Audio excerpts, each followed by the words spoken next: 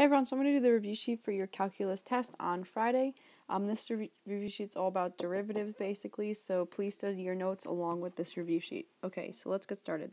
The first question says, what is the limit as h approaches 0 of cosecant pi over 4 plus h minus cosecant of pi over 4 over h equivalent to? Now, here's the deal. You should recognize that this is the limit definition of the derivative. Now, what that is, is the limit as h approaches 0 as f of x plus h minus f of x all over h. Here, you would plug in a function into here to find your derivative the long way. This is the real rule of how to find the derivative, which you know. What they did is they plugged in that function that they're trying to find the derivative of, and you got to find that function.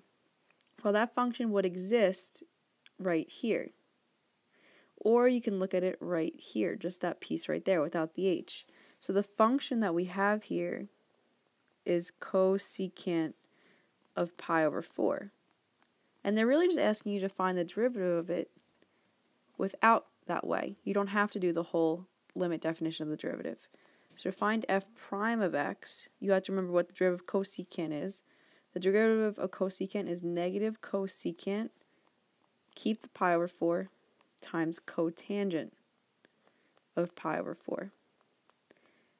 Now this question is going to require you to keep your answer, well, make your answer an exact value, meaning no decimals and no rounding.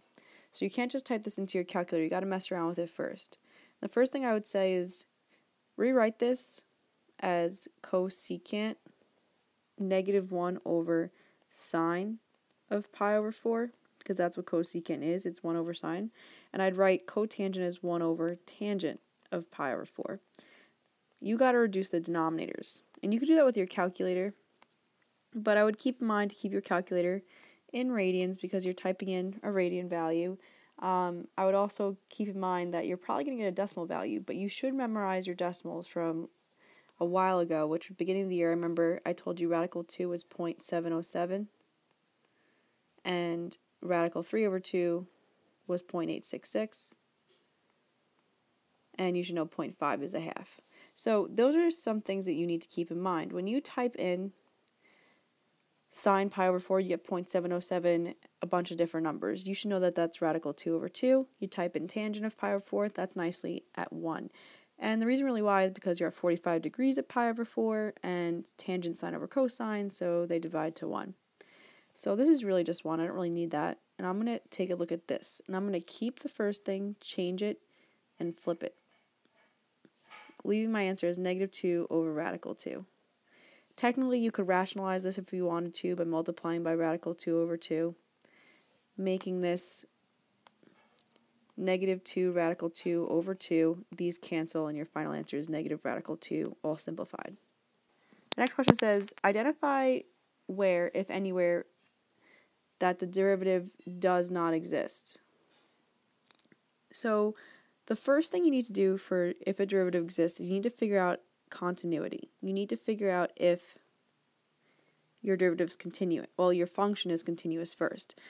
Doing that, you're going to take the left-hand limit. So you're going to take the limit as x approaches some number from the left. You're going to take the right-hand limit as a limit as x approaches some number from the right of this function. Now, if you analyze this, where could there possibly be a discontinuity? Well, x squared you should know is a parabola. That's nice. And x minus 4 is just a line. So the only place that we're probably going to have an issue is at x is greater than is great less than or equal to 0 and x is greater than 0 because this is where we got to figure out does the left meet the right and do they fill in. Okay? We're going to find that out first. And if that does prove to be continuous, I'm then going to take the derivative, take the right hand derivative and the left hand derivative and see if they equal.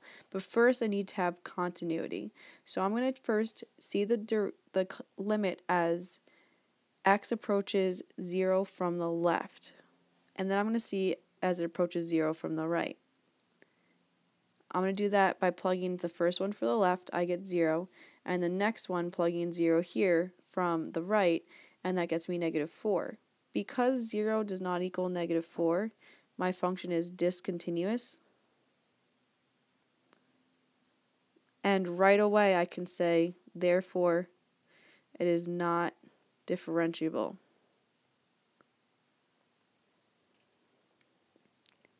at 0. Meaning you can't take the derivative. There is no derivative at 0.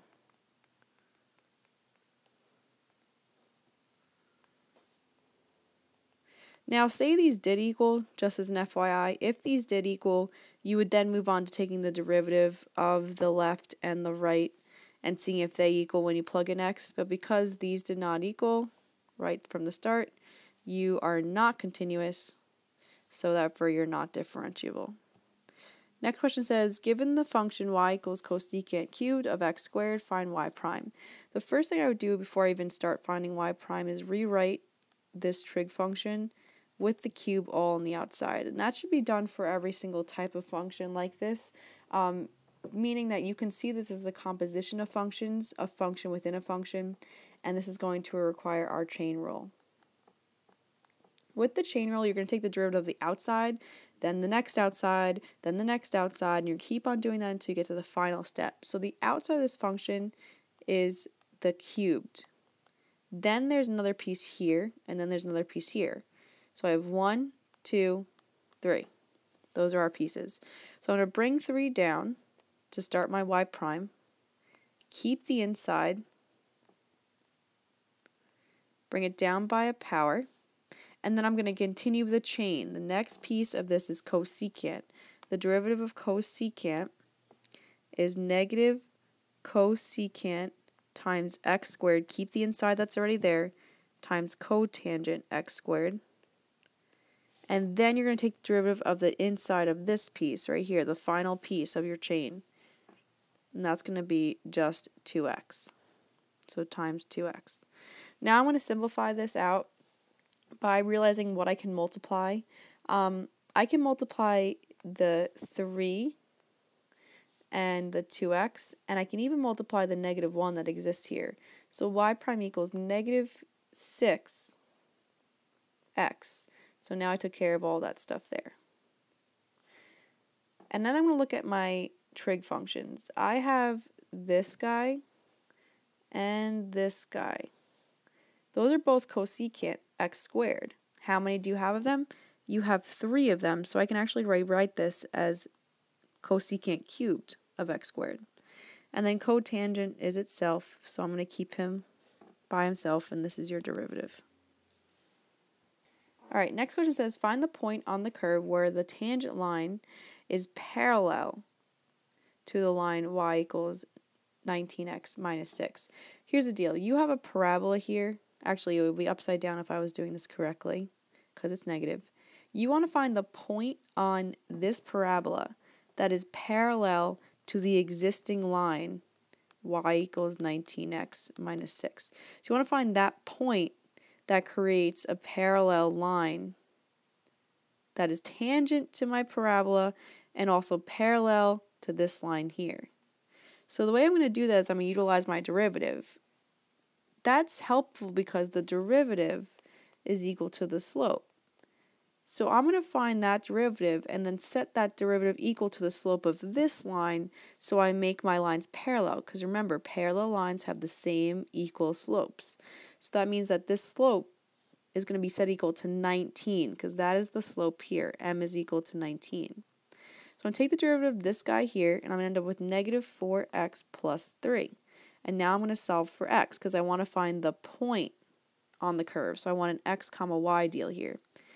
I'm going to work backwards to find x by subtracting 3. Negative 4x equals 16. Divide by negative 4 my x value is negative 4. That's going to go in here. Now you need to find your y value. How do you get your y value? Well, plug that x value you just found into the original. So I'm going to plug that x value into the original, and I get y equals negative 2 times negative 4 squared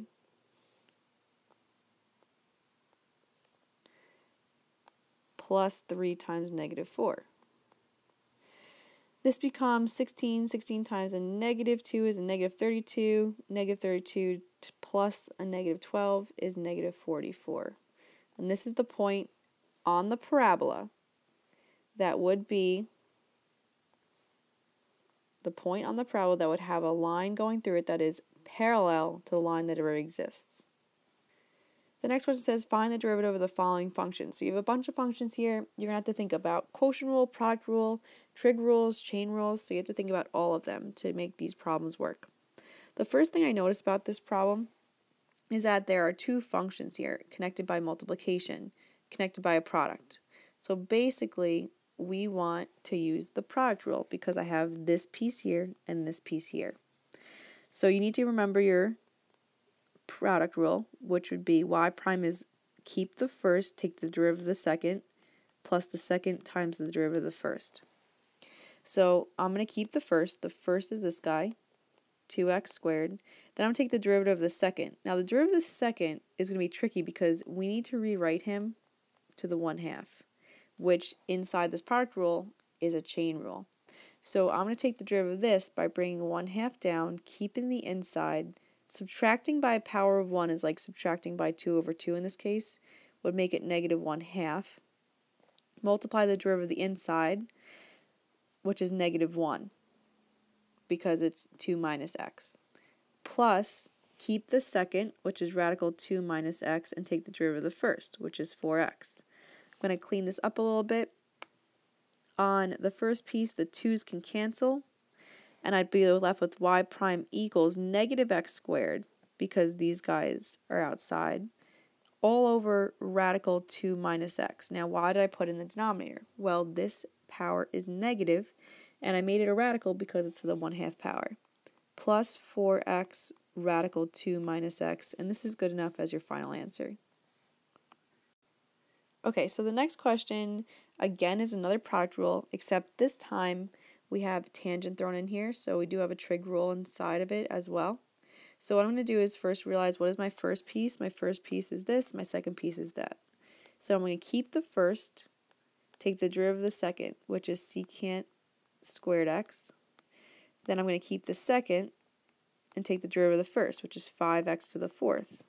I could rewrite this as x to the fifth secant squared x plus 5x to the fourth tan x. And that's your answer. Alright, so the next question is a regular derivative, nothing really crazy except for the powers that are going to be really tricky. Um, so I'm going to take the derivative of this guy by doing it in pieces. There is no product rule, there is no quotient rule. And actually, I'm going to do one better with this. I'm going to rewrite it so that I avoid the possible quotient rule here. There's a possible quotient rule here because you're dividing. But this will make it an easier derivative by bringing that x cubed up from the denominator. Okay. So I'm going to bring down the 1 half, 2 times 1 half, x to the negative 1 half, because you're bringing it down by a power of 1, minus 18x to the negative fourth, minus 2 times 3 over 2, x to the, if you subtract 2 over 2, you get 1 half. Okay, now I'm going to clean it up. These 2's cancel. I'm left with y prime equals 1 over the square root of x because this is a negative exponent, so therefore it's going to go into the denominator. And then I'm going to have negative 18 over x to the fourth, because again, a negative exponent goes in the denominator, minus, the 2's will cancel, 3, and that 1 half power will become the square root of x. Next question is again a trig function within a chain rule, so I'm going to rewrite it first with that power all the way on the outside. I'm going to take the derivative of the outside, which will bring down the 5 and bring it down by power 4. Now you need to remember your derivative cotangent. The derivative of cotangent is negative cosecant squared. So I'm going to have times negative cosecant squared of 3x cubed. And then you're going to take the derivative of the inside, which is that 3x cubed, and you're going to get 9x squared. Okay, so now going to clean a few things up. Keep in mind this is a negative 1 in front, so I can multiply the 5, the negative 1, and the 9, and get negative 45x squared. And then I'm going to rewrite cotangent with the fourth here. And then cosecant squared 3x cubed. That is your final answer. Okay, so the next question is a quotient rule. And the reason why I know it's a quotient rule is because I have a polynomial divided by a polynomial. What you need to remember for quotient rule is the derivative is equivalent to low derivative of the high minus high derivative of the low all over low squared. So I'm going to write the low, 2x plus 1, take the derivative of the high, which is 4x minus 3, minus high, which is going to be 2x squared, minus 3x plus 1, derivative of the low, which is just 2, all over g squared, 2x plus 1 squared. You're going to have to do some cleaning up here. You can, it's easy. There's nothing really messy here. You're going to FOIL the first few, so 8x squared minus 6x and a positive 4x gets you negative 2x, and then minus 3. And I'm going to distribute this in with the negative, so I end up getting negative 4 x squared plus 6x minus 2 all over 2x plus 1 squared. Alright, so now the numerators can combine some like terms. This one and this one combine, and this one and this one combine, and this guy here and this guy here. So I get y prime equals 4x squared plus 4x minus 5 all over 2x plus 1 all squared. Okay, so the next question says, using the table of values, differentiate the following. So you have to first differentiate these pieces, and then we're going to look back at the table to get the answers. So I'm going to take the derivative of both of these. There are no quotient rules, no product rules in this because there's not anything that says a function times a function or a function divided by a function. So I'm just going to take the derivative of f of x, be f prime of x, plus 2, take the derivative of g of x, g prime of x. They want x equals 3, so I'm now I'm going to plug in the 3 value.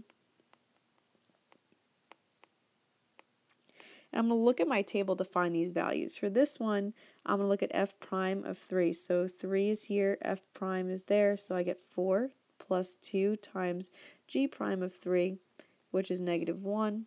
So I get 4 minus 2, and your answer for this part is 2. Going to do the same thing for the next one, except the next one is a product rule because you have this function times this function. So I'm going to keep the first function, take the derivative of the second function, plus the second function, take the derivative of the first function. Okay, and I'm just going to plug everything in for 2. So I'm going to rewrite this with the 2. So f of 2, g prime of 2, plus g of 2, f prime of 2. Look at my table again. So I'm going to look at 2. I'm going to look at f of 2. That's 5 and I'm going to multiply that by g prime of 2, which is negative 2, plus g of 2, which is 1, times f prime of 2, which is 3. I end up with negative 10 plus 3. That gets you a negative 7. Next one. Next one is actually a chain rule because you can rewrite this function as f of x to the 1 half. So first I'm going to bring down the 1 half, have f of x, make it negative 1 half. And then I'm going to multiply by the derivative of f because it's a chain rule. There's something inside here. Okay. So then I'm going to plug in the two values. So, oh, 3, I'm sorry. So this is going to be 3. So I have 1 half f of 3 to the negative 1 half times f prime of 3. If I look at my chart, f of 3 is 10. So I have 1 half times 10 to the negative 1 half. And then for f prime of 3, I'm looking at my chart, and I have 4 for that. the 2 and the 4 cancel, giving that 2. And then I'll have 2. This is going to be in the denominator because it's negative exponent over radical 10. Okay. Now technically, just so you know, you could reduce this, multiply the top and the bottom by radical 10, giving you 2 radical 10 over 10, and this reduces to 1 over 5, so radical 10 over 5 would be just as equivalent. The last one is a chain rule because you have a function within a function.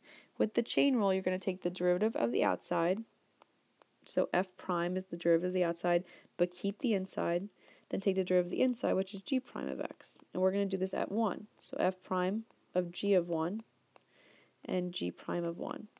So I'm looking at my chart to find g of 1. g of 1 is 3. So what happens here is actually we're going to look at the chart twice for this section because now I have f prime of 3.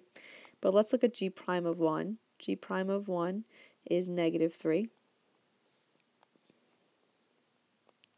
Okay, now I'm going to look at my chart again for f prime of 3. So f prime of 3 is 4. So I'm getting 4 times negative 3, which gives you a negative 12. Last question is a proof. I want you guys to prove the function, well, the derivative rule of secant, making secant equal to secant x times tangent of x. So what I would first do is rewrite secant as 1 over cos of x. And with the proof, usually you keep on writing it equal to secant, what it's supposed to be equal to, and then at the end you put a check when the left side equals the right side. This is a quotient rule, the top and the bottom. So I'm going to keep the low, which is cos of x, take the derivative of the high. The derivative of 1 is 0, minus high, which is 1, derivative of the low, derivative of cosine is negative sine of x. All over low squared, which becomes cosine squared of x. This becomes 0, and then this becomes a positive sine of x. Equals secant of x tangent of x. Now if you remember when we did this, you can break up that cosine squared into cos of x times cos of x. And you just got to put sine with one of them. I'll put it with this one. And then a 1 would be here because 1 times sine of x is sine of x. So if I realize something here, I should realize that 1 over cos is secant of x and sine over cosine is tangent of x. Therefore, your left side equals your right side and you have proved the derivative of, what did we start with? The derivative of secant of x. Great. I hope this video helped. I'll see you guys tomorrow. Study hard for your test. Have a good night.